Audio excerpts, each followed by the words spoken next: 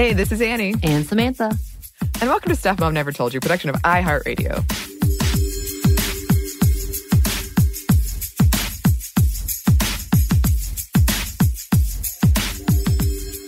So, Samantha, as you know, we are in my favorite season Yes. of scary things. Although the world is terrifying right now, but you know, you can find a haven in horror movies, or at least I can. Um, Your hope is that you can. I'm hoping. Uh, and for today's question, I wanted to ask you Have you ever played a scary video game? No.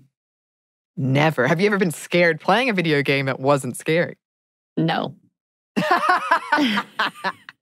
You've never had an epic battle of Mario Kart and felt just fear in your heart Not that you might be embarrassed. Not at all. Uh, because I already have very low expectations. And then I give a disclaimer to everyone that I'm playing with hmm about how bad I am at video games and or how I could care less about most of these video games.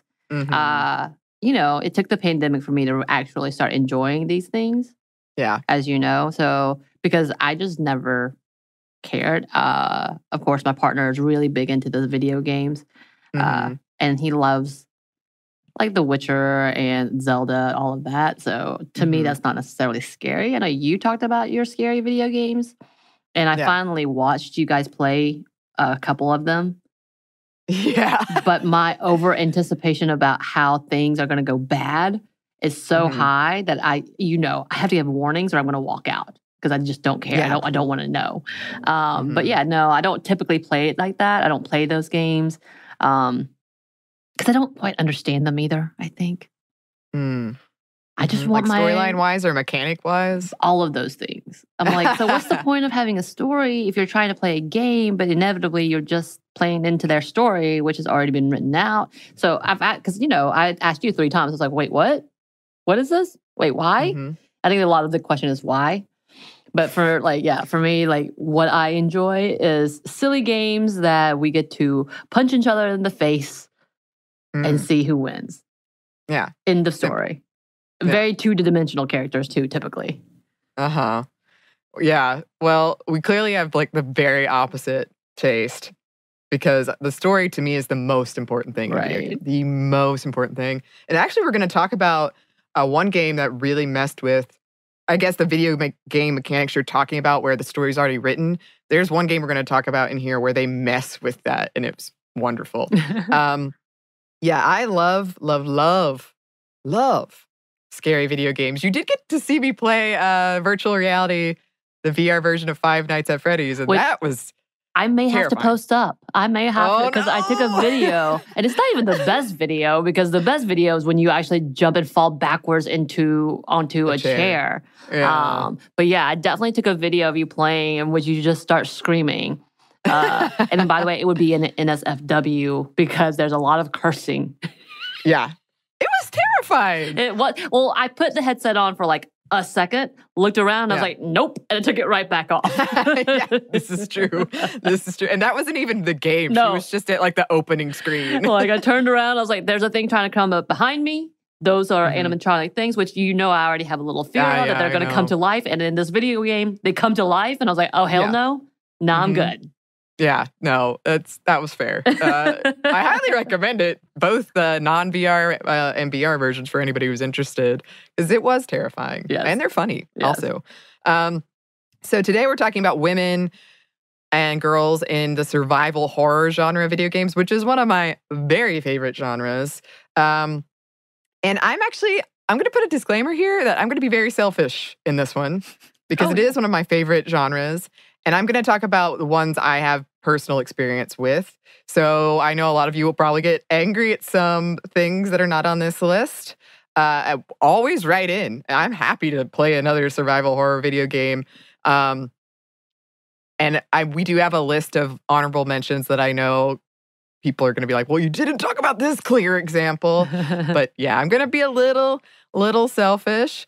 Um, and I also want to put in another disclaimer. Anyone who's played these games will know a lot of them come from very sprawling video game franchises with storylines that are really tough to wrangle. Like, I actually love this thought exercise of trying to explain some of these games because they're so weird. Uh, they've been retconned. Resident Evil slash Biohazard is the one that has come to mind. Also, Silent Hill. Oh gosh, um, where they're just complicated. And I'm again, I'm to kind of stick to what I know about them and the research I've done on them. But um, Resident Evil, for example, you can have one iteration of a female character that's pretty well rounded, and then another game, she's like almost completely different and wearing heels. And so, so just to put that out there. Also, also want to put in here uh, a lot of disclaimers already uh, that not every game or character I mention is great uh, when it comes to representation and feminism. And I do think it's okay to enjoy something that isn't actively causing harm, but always be mindful of those messages in the entertainment that you consume. So just just putting that out there as well. And uh quick trigger warning because we are talking about the horror genre. Um, we are going to briefly discuss some violence against women and sexual assault issues. So put that out there. Right. And my contribution was very small, as you could have already told, as you could already tell when we were discussing Yeah. whether or not I played these games. Yeah. Uh, I know that there are movie versions of these games, a lot of them. Ah, yeah. And I'm curious when we get to some of them if you've seen them and what your thoughts were. to be fair, I don't think I've seen them. oh, that's not Because no. because I probably should watch like at least Silent Hill because that is seemingly up my alley. But I feel like the only Mm. things I've seen available are the sequels, and that is something I will not do. Is I will not see a sequel over the original. Which you and I've had discussions of. Like I'm, I'm appalled by some of your viewing uh, yeah. Oh yeah. She, experiences. yep. Samantha is very angry at me right now. but yeah, so uh, kind of that's the problem, and I, I probably should go back to it. But because also I don't have a big love for these games, so I will put that as like I don't know what the hell I'm talking about, but I will join the discussion as much as I can. So, as you know, we've talked a lot about how women love horror. I love horror, just not video Yeah. gaming, so it's kind of one or the other um, for me. But I'm I'm getting into Mm-hmm. it, y'all. I am getting into it, and yet you know that there has been a traditional lack of representation of women in the genre and apparently in video games at large. So Yeah. I do see a lot of them in that you tell me about them, I feel like. So therefore I, Yeah. notice those more than I do anything else. And I probably know more about those games, I feel like, Mhm. than others. So that's, I feel like I'm a one up in that tradition. Uh, you go. but of course, and I did get to witness this, it gets even worse when it comes to women of color and queer women, which seems to be a new focus when it's not just queer baiting to see them as Right. actually thoughtful characters. Right. And for anyone who's listening and is like like Samantha, oh, I've never played these video games. I won't be able to relate to this conversation. Uh, if you you'll recognize these tropes. Like they're not even in just horror. So um never fear. Uh It is all inclusive. Yes, we, we try our best to make our video game nerdery episodes inclusive. Um, so, when women do show up in these games, they are almost always one of two characters in survival horror. Uh, if they're a playable protagonist, meaning you, a person, plays them, um, they're strong, smart, capable, although often provocatively dressed and not dressed for the situation uh, that they're in. Or if they're not that, they're the damsel in distress that serves to f- to lead the male character story, and also probably provocatively dressed. Um, a plot and set piece to up the tension and nothing more. Uh, male protagonists and non-playable characters are almost always capable and also very rarely provocatively dressed. I'm always Um, I'm always shocked by how somehow during the apocalyptic moments, women end Yeah. up being able to have the perfectly cut uh, belly shirts. Oh yeah, that was one of my favorite things about. Um, there's an interview Milla Jovovich, I think that's how you say her name. Um, she's in Resident Evil, Right. which is based on the games. Um, and there was one movie where people were like, "Don't you think it's odd?" An, an interviewer was asking her that you're wearing kind of this like tube top and short shorts, and she said, "Well, we wrote in a heat wave to explain it." And that just cracked me up so much. and it was actually freezing. They were filming in winter and they oh had CGI no! their breath out. But they wanted an excuse for them to be provocatively Oh no! dressed. Like it's not. There's not a problem in women dressing that way. But no, it's just like absolutely not. obviously this is for the male gaze. Like this is not Yeah. about Yeah. women being comfortable. This is literally right. well, she is a superhero. We can't just have her being in a t-shirt and jeans. We need to have her in this ridiculously form-fitting leather, somehow metal, somehow chain Mhm. bikini type of thing with Yeah. a pistol on her Mhm. thigh strap. Because you know, Yep. what? Who And doesn't I think that? in one of them, I think in one of them, it's already been the apocalypse, and she's wearing fishnet stockings and I wandering the desert. Who doesn't? You know, oh, I won't. If you're in the apocalypse, maybe you want to feel good sometimes. I understand. you gotta feel good. and and fishnet hose if while that fighting zombies. Come on. Yeah. Oh, come on. Um, okay. Uh, we're getting off track already. Um, often these male characters act as protectors for the female protagonist when there is one. So even if you're playing a strong, capable female character, there's usually a male character that's still stepping in to protect you. And also, I I do use the term strong female character a lot in this. When I say that, what I really mean is a well-written character that isn't dependent on men to rescue her. But I know there's been a lot of back and forth on that whole kind of phrase Mhm. and what are what do we really mean when we say it. Um, so put that out there too. Let's start since we've already mentioned it a, a couple times with Resident Evil. So Resident Evil, if I had to explain it very shortly, is basically uh, capitalism gone really wrong, led to zombie apocalypse. Always. Uh, and that's yeah, that's it. the Umbrella Corporation invented this T virus and it got out and made all of these zombies and all of these creatures. Um, so the, first game, which I've only played once and it is extremely difficult, I was going to ask, have you played this game? So the first you played once. Okay. I've played Resident Evil 1 through 5 Oh, and a, a bunch of the like uh, side, like Code Veronica and all that stuff. Have you seen So, all yeah. the movies? Yes, I have, and I've then. seen them all in theaters. Die Hard. Yeah. Well, and it's really funny too because as I was researching this, and I'm like, feminism, Resident Evil. And a lot of people haven't played the games, but they've seen the movies. And there were a lot of essays about, like, you know, these movies aren't great, but we're always saying, like, why can men have mediocre movies and it's fine? But we're not holding up, like, well, see, these movies make a lot of money, and most of the characters in them are women, like most of the lead characters. Mhm. So, I mean, there is that. Mhm, mhm, There mhm. is that. There is also interesting dressing, but there is in the games as well. Mhm. So in the first game, uh, which came out in 1996, uh, she is a member of STARS, which is this elite fighting force, kind of like SWAT. Um, Wait, did you mention who she is? Jill Valentine, yes, Okay. Jill Valentine. Okay. Yeah, uh, sorry. Um, so she is what is considered one of the first uh, playable female characters in survival horror. If you find a list of best characters, women in survival horror, she's on there. I guarantee she'll be on there. Um, and she, I mean, in the first game, she uh, definitely she was dressed in like police gear.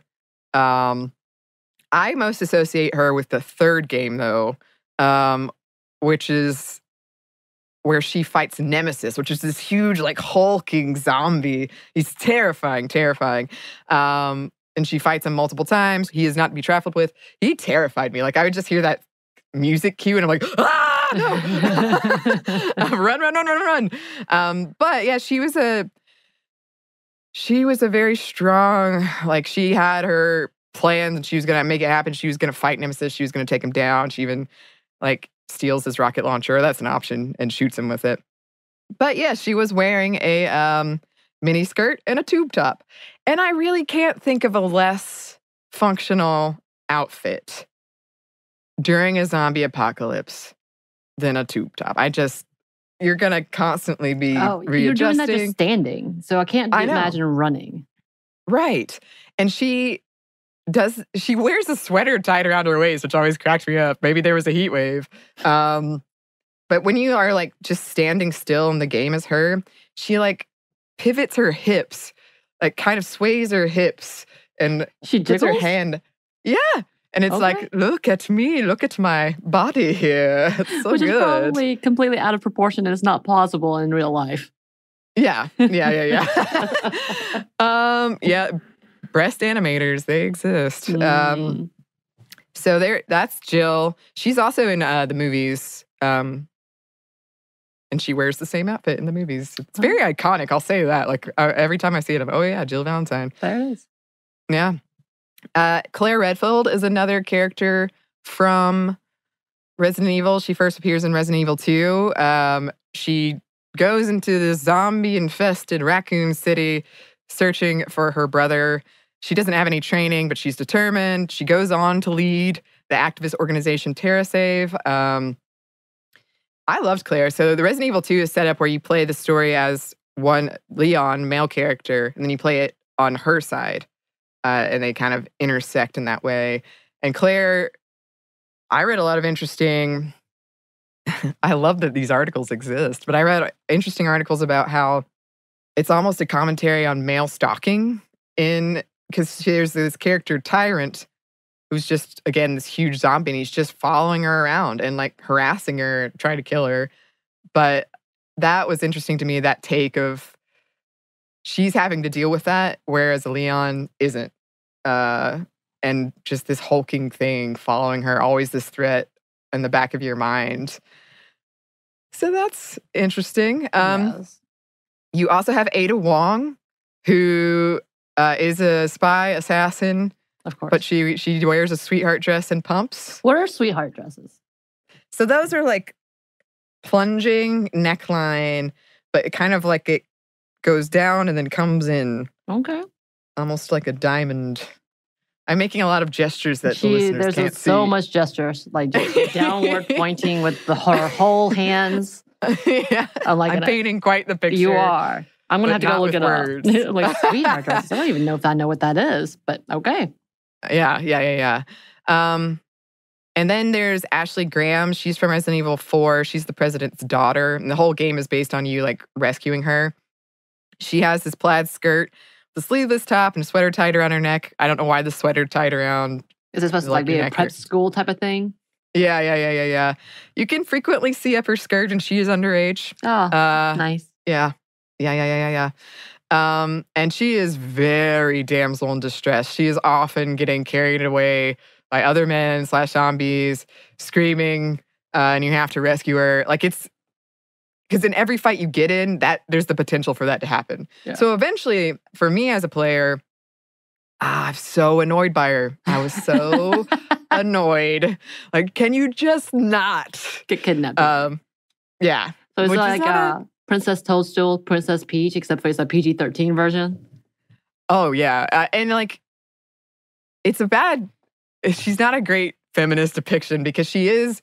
Her voice is pretty shrill, and she's like, ah, ah, ah," and it happens all the time, to all the time. And All the time.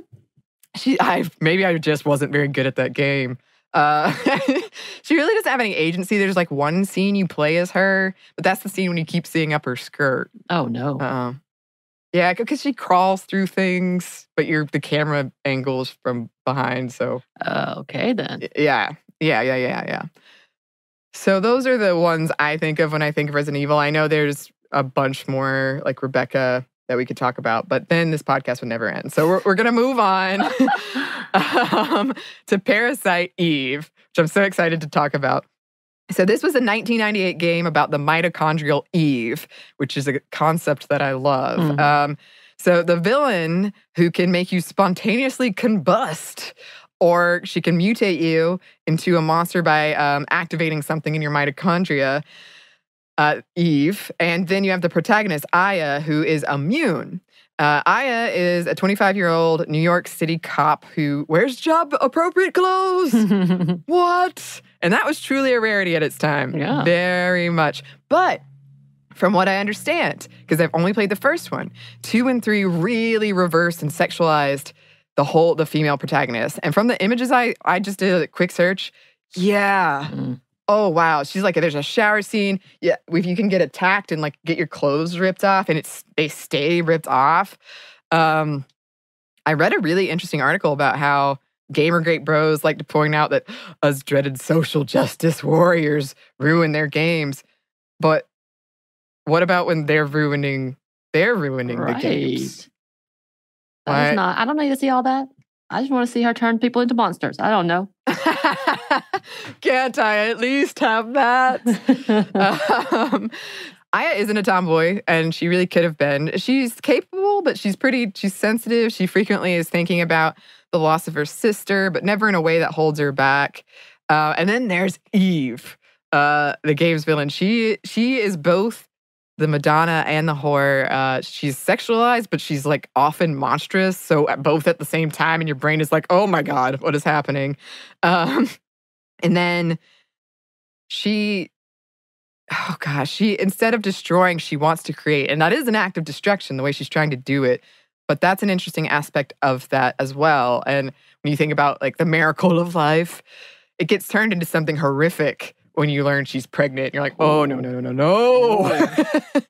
yeah, yeah. So those games, uh, I actually never beat that game either because it was the really difficult, like just play playing wise. And I got to this crab.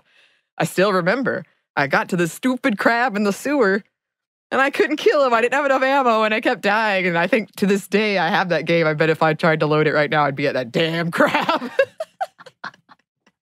Interesting concept. A crab. it's my my Moby Dick, uh, the crab from The Parasite crab. Eve. Hmm. I don't think it was even a boss battle. yeah. Ah, Jeez. All right. So, uh, Bioshock. I also wanted to talk about Bioshock, which is one of my favorite games ever. It's the one when I said there's a game that messes with video game mechanics. It's this one. Oh, yeah. Um, they like to troll people, don't they? yeah, yeah, yeah, yeah. We're, yeah, we're going to talk about that a little bit.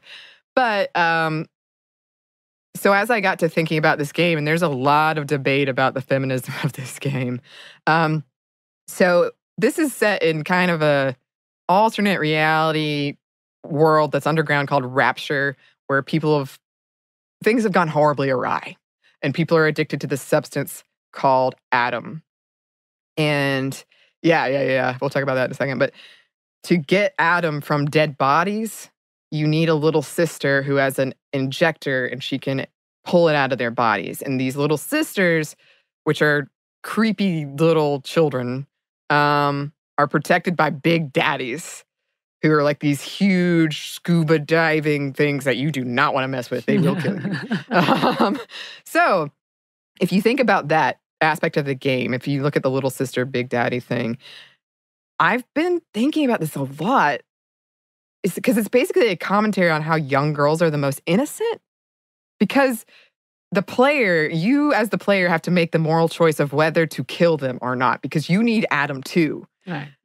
But you don't need to kill them. You could, it will just be harder. The game will be harder for you if you don't. Right. And for this choice, the developers chose a little girl. That's like that's the moral Right. yeah. Yeah. So uh, that's really interesting. I hadn't really considered it before. I will say I'm a I'm a big softie. I could never kill one. I could never have killed a little sister. Oh. but you'll kill all the dogs. Oh wait, no, yeah. that's another story. Yeah, coming up. Um, and then just the the dynamic of which we are going to talk about because it does appear in these games, these survival horror games a lot of the big daddy protecting the little sister. Um, basically like a grown man protecting a little girl, uh, and that inherent power dynamic. And of course, there's also a commentary on capitalism in this game and patriarchy, on how you can get ahead by draining these little girls. Like you, you can stay, use this system to make you stronger. Um, even they resist and they like beg you to stop. Um, and the only thing that can stop you is a big, the big daddy is a big man. Big Daddy. Yeah. Do not mess with the big daddies. Um, so in the second Bioshock, some of the little sisters become big sisters, which is the big daddy equivalent. Um, so quote here, Big sisters are the new gatekeepers of rapture. Born from little sisters, they don costumes much like their former protectors, the Big Daddy. However, these lithe, broken, mysterious creatures are worlds different from the hulking beast that inspired their design. And everything from the way their armor appeared to how they cocked their head had to tell the story of their creation. So, due to the trauma of their past, they are quite aggressive. They are erratic. You do not want to mess with them either. Um, they protect little sisters, but they also uh, are kind of like vengeance, trying to take any. They'll kill anybody who killed a little sister. Mm. Um, and yeah, yeah, yeah. There is just the fact that this substance is called Adam, and then there's another substance for your health. It's called Eve. Uh, has given me a lot to think on as well. Yeah. Um, and then if we look at Bioshock Infinite, you have Elizabeth, who is the damsel in distress of the game. You're trying to, their whole point of the game is you need to get her, rescue her, and deliver her to someone else. Um, she does have powers. She can tear holes through space and time. Uh, she's helpful, but most of what she does is in service to the male player character, Booker's storyline. Um, there's a lot of caged bird imagery in this game. There's a running theme of is the caged bird really free? So even when you rescue Elizabeth from her tower, is she really free? Um, it's a thought experiment throughout the game. Like they actually kind of ask you, what Mhm. do you think? Um, and yeah, she is pretty much at the whims of her father. And I suppose, spoiler alert for any of these games. I should have said that at the Maybe top. we need to put that at the top. No, no, no. I don't think we've talked about one that's um recent yet. But for this one, spoiler alert, Bioshock Yeah. Infinite. Uh, she does kill her father. It's very confusing. Um, and this game also has a storyline about racism that has a much debated. Uh, It's been the source of much debate. Uh, basically, the world that this one takes place in is in a still sort of pre-Civil War times, and there's an underground railroad equivalent. Uh, and the game starts with the player winning a contest to throw a ball at an interracial couple, which I think was a white dude and a black lady. Um, you can't in this society, you can't be an interracial. Couple, um, and it's a choice you can make to throw the ball at them and blend in, or uh, throw at their captors. Um, so yeah, this is you can find people arguing that this is very anti-feminist games. All of them are that they are feminist games. Lots of lots of discourse about Yeah. it. Um, it does have one of my favorite "f- you endings, which I will say is when the developers are like, you got basically a lot of gamer gamer bros complained about one aspect of the ending of the first one, and in this one they were like, "Oh, really? we will make it so much worse." I love it.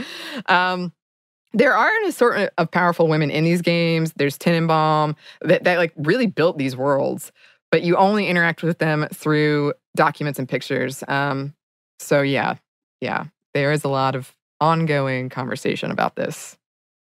Whew, you've gone through a lot. Like I'm sitting I here have. listening. I'm like, okay, okay, because I don't think I know much about Bioshock in general. Uh, I just know it has something to do with something Yeah. wrong with your DNA or mixing up, you know, Yeah, yeah, whatever atoms and such. uh, I didn't know it was called Adam and Eve, which I thought was funny. But. I know, I know you got some more, and I know you got a Oh, real do. doozy yeah. Yeah. coming up. Uh, but first, we do have a quick break for a word from our sponsor.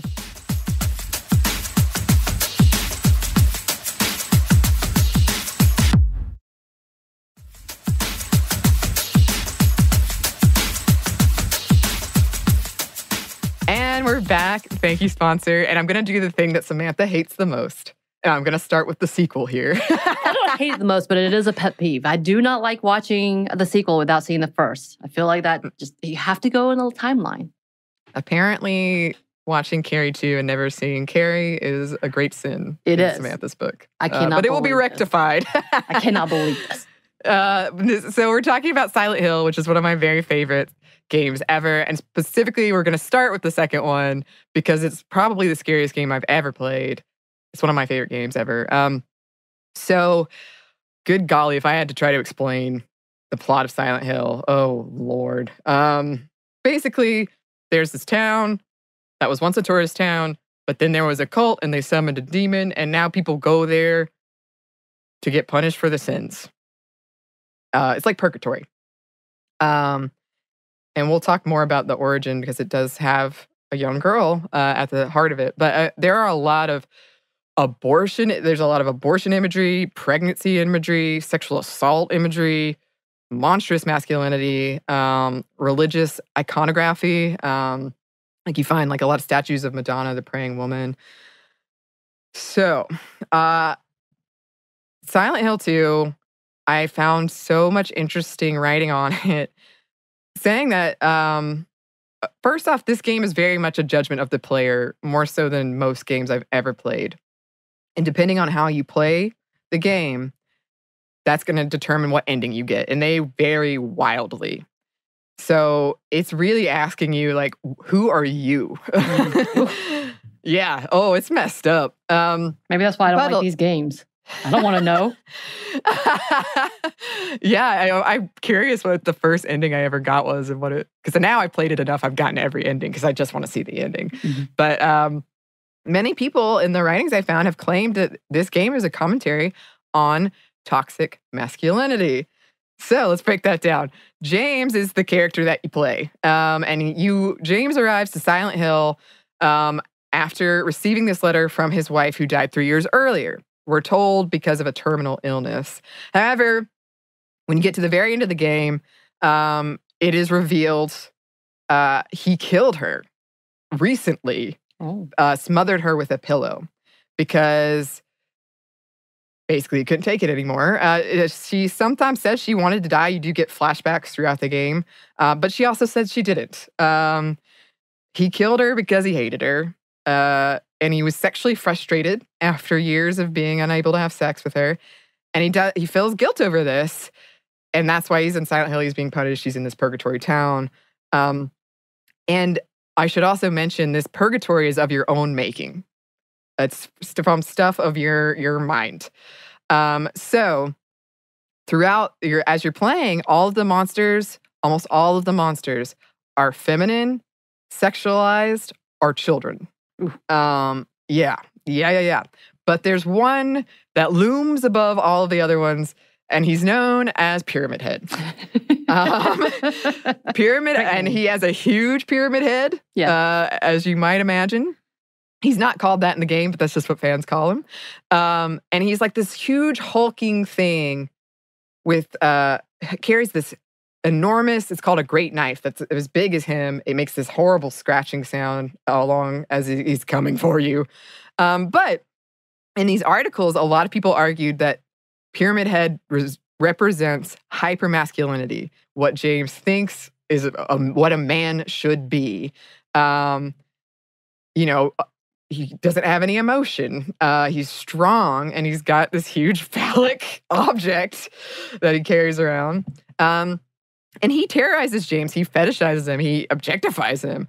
Um, at one point later in the game, you can pick up the great knife. You can take it, but if you do, it slows you down. Um, it- it's like a big hindrance. Like even when you're not ca- like about to use it, it slows you down.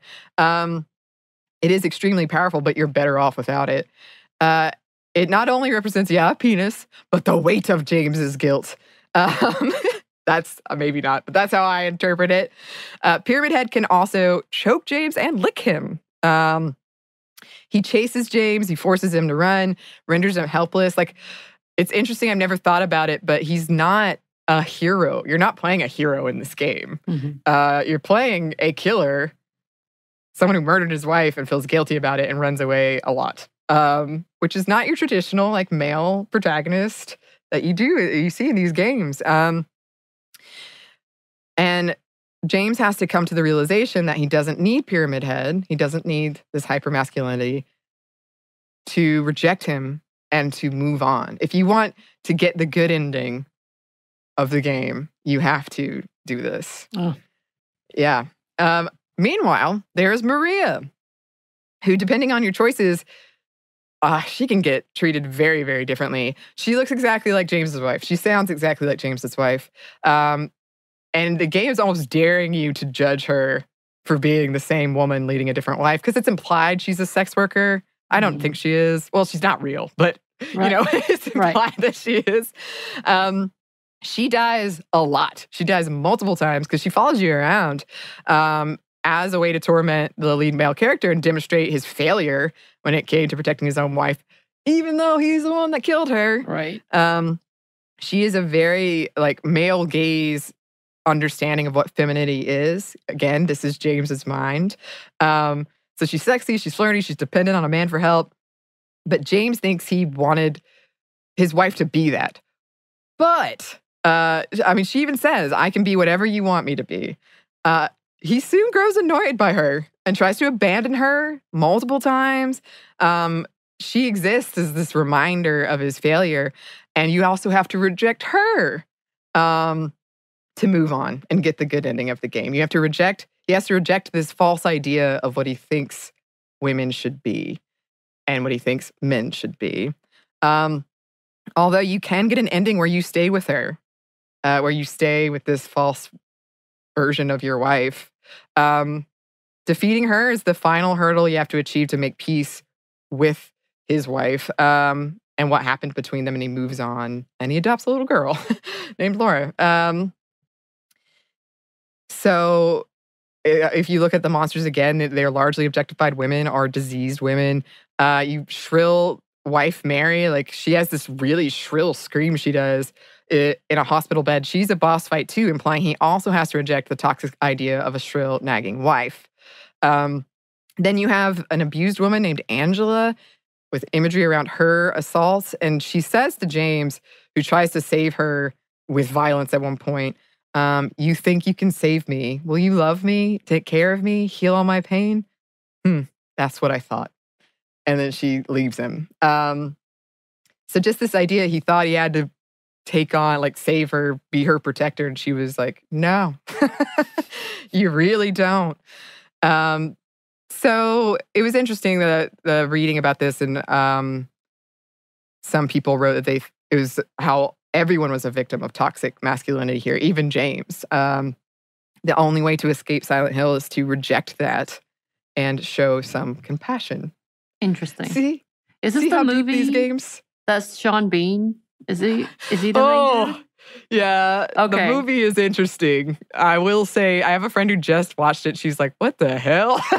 So, because it's been popping up on my like, you should watch this. But I think it was the second one that it was advertising, and it Mm. looked like is it the dude? Is it uh, Jon Snow guy? Isn't there too? I don't know. I've only seen the first one. I will tell you, it's not good. It does Okay. have a lot of interesting messages in it. Although, well, as you could probably tell from listening to me talk about it. right. I'm trying to remember because I realized I also confused this. Don't judge me. With the hills Mm-hmm. have eyes. oh, oh. There's there's some overlap, unfortunately. Is Um, it okay? Maybe I'm yeah, not I mean, it's- out of. It's character. gross. It's gross. Yeah. Uh, I saw it in high school, and uh, never seen it again since. Oh, But I will tell you, Sean Bean spends uh, most of the movie looking confused, and all almost all of the main characters are women. So there's also feminist critiques of this. okay. Uh, yeah, of the movie. Hmm. Um, but okay, let's step back. Yes, Sorry, yes, yes. Samantha.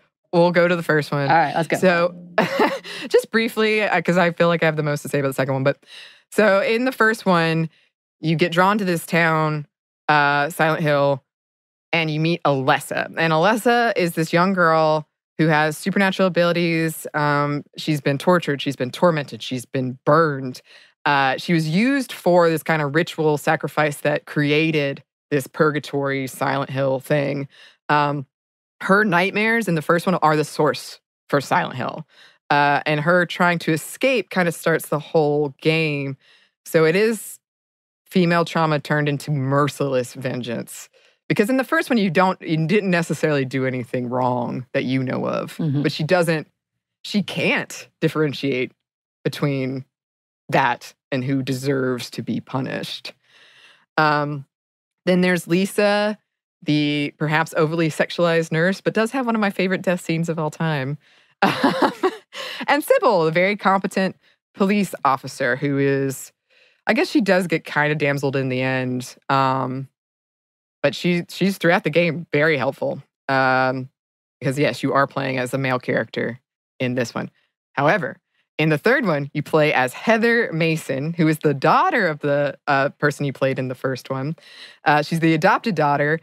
Uh, she's also the reincarnation of Alessa and Cheryl. Don't worry if you don't know, you don't understand that because it's confusing, and I'm not going to take the time to unpack it. Um, she does. Uh, so Heather does wear a mini skirt, but she's not really sexualized. She feels much more practical. Um, and that actually plays on her fears later because this one has a lot of abortion and like fear of pregnancy. Uh, like it's the whole thing. Mm. Because she's sort of like can give birth to Satan essentially, and there this cult is trying to make that happen. Um, she does start out in a shopping mall, like she's a kid in a shopping mall. So it doesn't feel so like, oh, why is Jill Valentine in a tube top during the zombie apocalypse? um, she, I read a lot of people who said she's almost a direct commentary on the schoolgirl character of the time, who were usually kind of creepily sexualized. Mhm. Um, she uh, becomes the target of a cult, loses her father, then has to kick some serious ass along the way. But again, there's that father daughter relationship that just comes up so much in these. Well, like when you were mentioning of that, the fact that because you kind of quickly moved off from the second one, talking about how you adopted a daughter, but that seems to be a trope with a lot of these as a rectifying or uh, yeah, like uh, a redemptive. redeeming a, Yeah. a very bad character by saying, "See, look, I take care of a little girl." Not just like I'm a protector, but it makes me a better person, and therefore you have more Mhm. sympathy for me. Right. And it's like that innocence. Apparently, the little girl is the most innocent thing. Uh, I don't know. I just had never really put together until I was making this list. Like, wow, this is Well, I mean, everywhere. now that you say that, because some of my favorite Korean films has that same arc way as well. Like they're rescuing a little girl who is he is the father figure and he sacrifices himself for her, but he's done so Mhm. many bad things that this is his redeeming quality, and so therefore Yeah. all his past is forgiven because of this. Exactly. Exactly. Oh, and we're about to talk about that a lot. Yes, But um, first, to wrap up, Heather, she does give birth to God. Uh, it was a monster. Okay, I like that was just flippantly said. She does Yeah. give birth to God. It- honestly, in these uh, realm, this game, it's kind of yeah, like oh yeah, she gave birth to God, um, who is a monster that she kills. Um, yeah, I could really unpack a lot more in that one too, but uh, no time. Um, I did want to wrap up with Silent Hill 4. So I've played through five, um, but in Silent Hill 4, you do have this character called Eileen. Silent Hill 4 is actually a hilarious game to think about during quarantine because the plot of that game is that you can't get out of your apartment. You can't escape your apartment and you're being tormented by these like nightmares. Oh, Um, but you do have like a little peephole and you can spy on Eileen. that's great. Um, and she is dressed for a party. There's absolutely no real reason for her to be dressed like that. And it's this like short, tight mini dress. Um, and you do, she does follow you around. You do have to protect her. She gets like bruised if you if she takes hits. Um, and you do get to play her for a while, but it just feels so like I don't know why she's in this dress and in heels and she's slowing me down. And the fact that you're as a player getting annoyed at this kind of female depiction, I do think is really problematic. um, and you do see that quite a bit.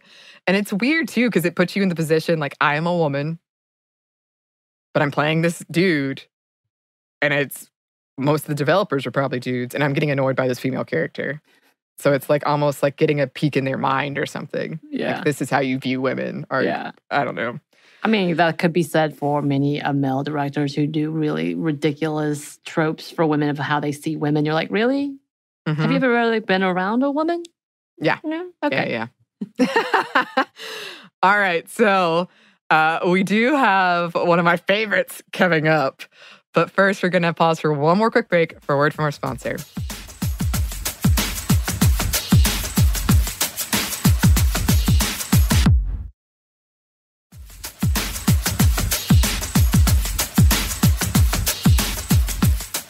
And we're back. Thank you, sponsor. And yes, we're back with The Last of Us and The Last of Us Part 2. So, yes, I would say spoilers. If you're trying to not be spoiled by these, I would stop here. It's not, we're not going to get too into it, but still, I think you can, uh, you could probably deduce what's what happens in these games based on what we're going to say. So, I'll put that out there. Um, so, people know I love these games. It's pretty much a zombie apocalypse where in the first one you play as Joel, who is, yes, this like male protagonist who's done terrible things uh, to survive. And you your job in the game is to protect Ellie, who is a 14 year old girl who is immune to the zombie virus. And you're, you're trying to deliver her to the Firefly so they can get a vaccine. Um, so I love Ellie. Ellie is one of my favorite characters of all time. Uh, and I remember the first time I played that game, she was such a breath of fresh air. I, I was one of those things where like, I didn't know I was missing this, but here it is. Right. Um, she really subverts your expectation of young girls. I mean, we've been talking about how they represent innocence throughout this, and she still does, but she is like not the demure. she curses, she's feisty, she's got really dirty humor, she can fight, she's scrappy. Um, you do start out protecting her, and Joel won't let her have a weapon, even though she's proven like, no, I can, I can use one, I can protect myself. Uh, and eventually, yeah, he, he's like, nope, okay, I'm going to give you this weapon. She really carries her weight. And eventually, you do spend a decent section of the game playing her to protect the lead male character. Um, and it's still, you know, furthering his storyline. The whole thing is. But, oh gosh, and that's my favorite part is when you play as her. It's much scarier to me. Mhm. But um, she is immune. So she, I love how she uses that to her advantage. Like, oh, I love it. She is queer. Um, she does survive an attempted rape and deals with the trauma of that. I'm glad they put that in there because most games don't. Like, you kind of just move on. Right. But she was clearly despondent after that and changed. Right. Well, not Um, only that, but she also killed a man, Yeah. and that traumatized her too. Like, and then I'm like, oh, good. They're not just moving on. They did put a, like a lot. I did witness this, y'all. Obviously. Yeah, she did. um, but they did put a lot of like depth of character in that. Yeah, this is the reality is a young girl who wants to be a good person is Mhm. traumatized because she had to survive and this is what she had to do. But the reality is you would have some kind of trauma to you. Yeah, Oh yeah. Yeah. And and it's great that you I mean, it's great and sad. It's one of the things that makes the second one so effective because then you see all of the trauma, what that what she's grown up into, and you just feel so sad, especially because you spent the first one protecting her. Um, so in this game, you also have Tess, who's Joel's partner in crime. She's the one that convinces him that maybe a cure is possible and he should take he should care enough about it to complete their journey uh, after she dies because she gets bitten, so she knows she's going to die, um, and deliver Ellie to the Fireflies. And this game also has Marlene, who is the leader of the Fireflies.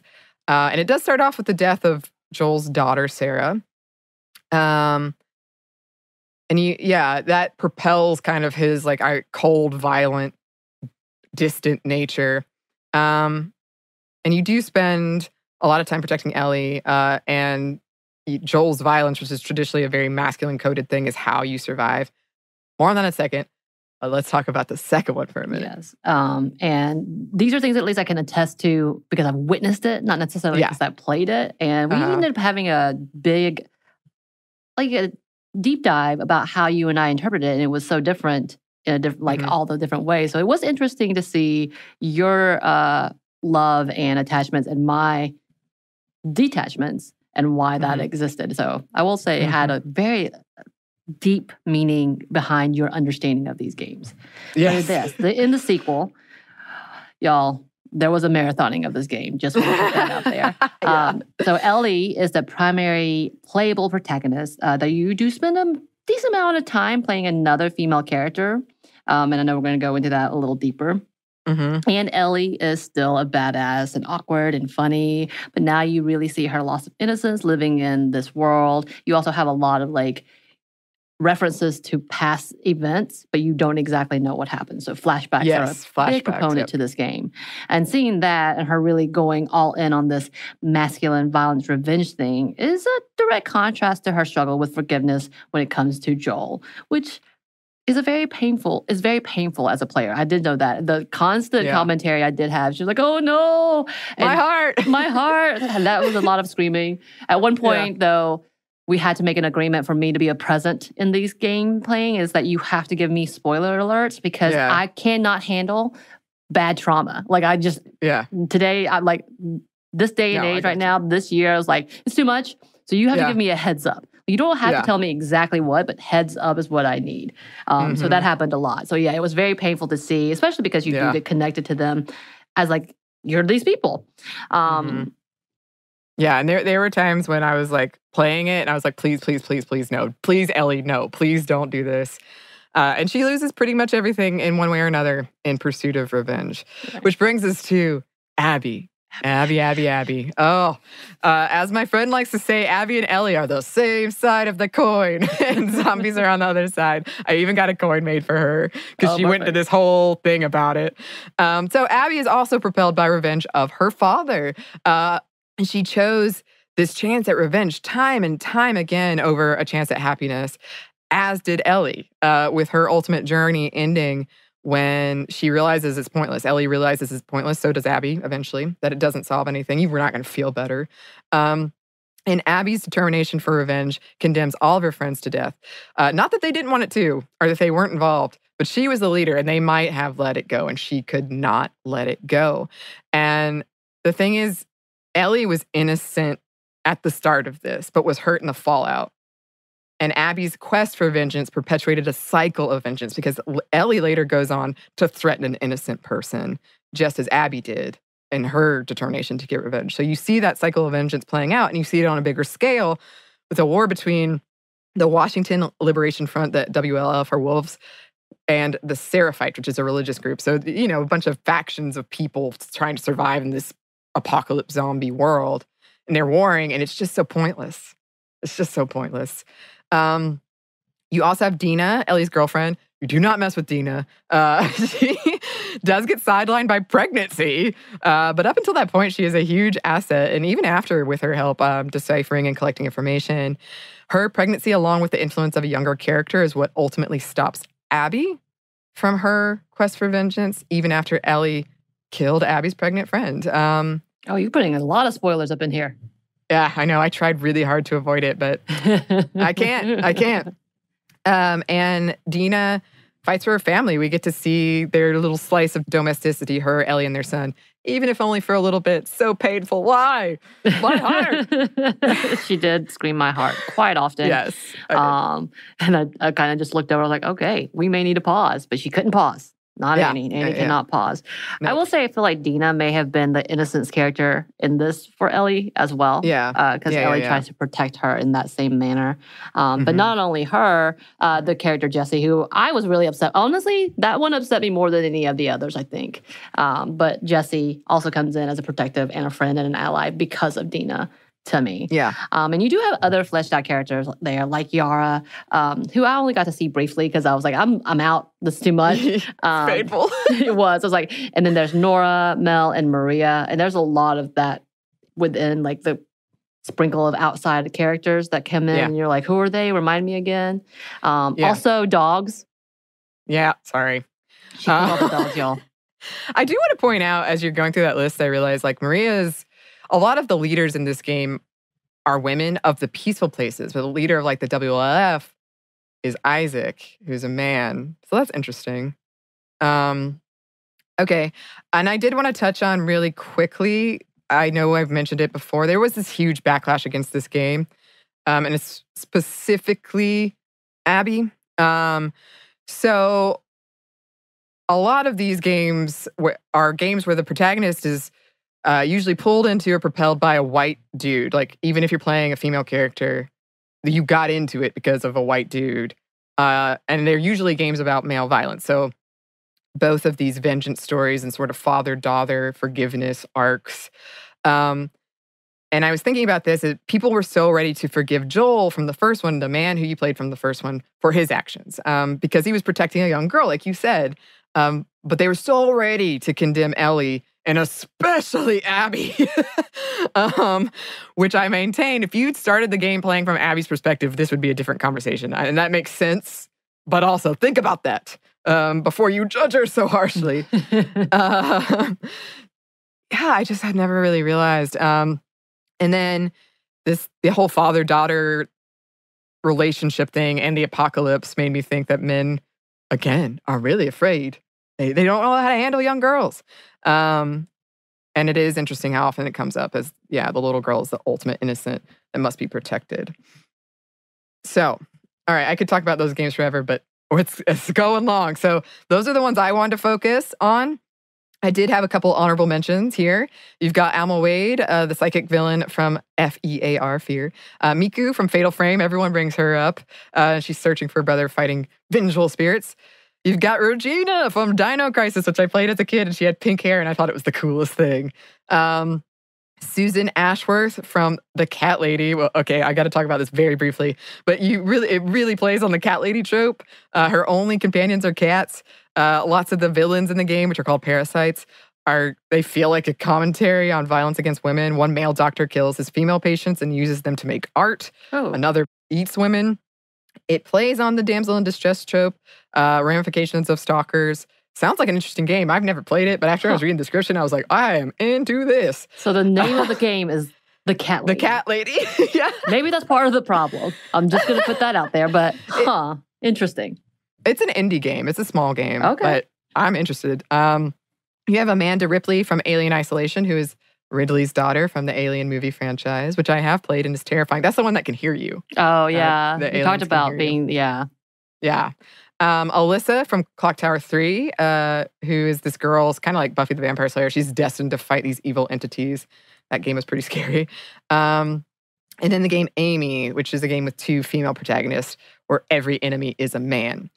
Now, also, I found some games, very disturbing games written by male developers that are all about kind of enacting violent fantasies on women that are in the survival horror thing. Mhm. We're not really going to talk about that today, but I am aware that that exists. Um, and just some tropes to close this out. I've noticed like these games do have a lot of depiction of trauma. I was even curious, like, it's hard to think of a female character in these games that doesn't have trauma. And what does that, like, is that because of the genre? Or I don't know. That's a conversation for another day, perhaps. Is it a driver? Like it, it- Yeah, you have to like, have a motivation. Does it have to be though? Like I'm Yeah. curious. Um, depiction of sexual assault comes up on these. Depiction of mental illness, which can be very problematic in these games and in horror in general. Um, like Alice Madness Returns, uh, which is a game where she thinks she's in Wonderland and kills. She thinks she's seeing monsters, but uh, they're not. well, I Oh, guess they are. It, it's a lot. We could interpret that as well. Clothing choice is obviously a problem in these. Um, so, oh, that's been that's been a real whirlwind this episode. Yeah, it's a lot longer than we thought. I know. I'm sorry. I just I got love it. going. I Yeah. just got going. I could keep going forever, but obviously, we must eventually stop talking about survival horror. Um, but if I did miss any any games that you think I should play or that you think we should come back and talk about, even among the ones I've included, if you'd like something more in depth, people are probably like, "What?" but you can send those suggestions to our email, which is stuffmediamomstuff at iheartmedia.com. You can also send them on Instagram at Stuff Mom Never Told You or on Twitter at Mom Stuff Podcast. Thanks as always to our super producer, Andrew Howard. Thank you. And thanks to you for listening. Stuff Mom Never Told You is a production of iHeartRadio. For more podcasts from iHeartRadio, visit the iHeartRadio app, Apple Podcasts, or wherever you listen to your favorite shows.